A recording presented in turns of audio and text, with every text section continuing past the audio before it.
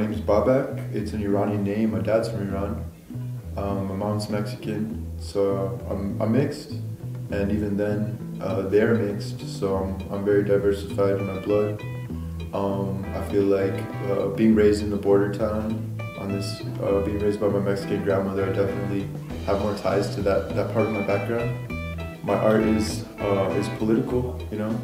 So especially with um, with this the previous presidency, like being both Mexican and Middle Eastern, I felt like I had to defend both of my sides, you know, a lot a lot of times through my art. Recently, I did um, some Persian graffiti out in Chicago, but for the most part, I do a lot of uh, Mexican themed art.